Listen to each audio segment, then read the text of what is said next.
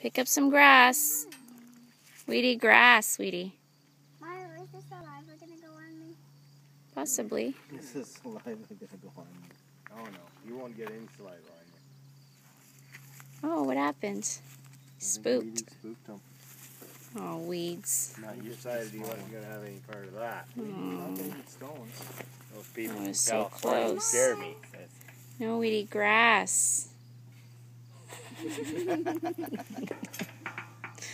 Grass, Weedy, not stones. Why wouldn't he eat stones? Think of the weight he gained.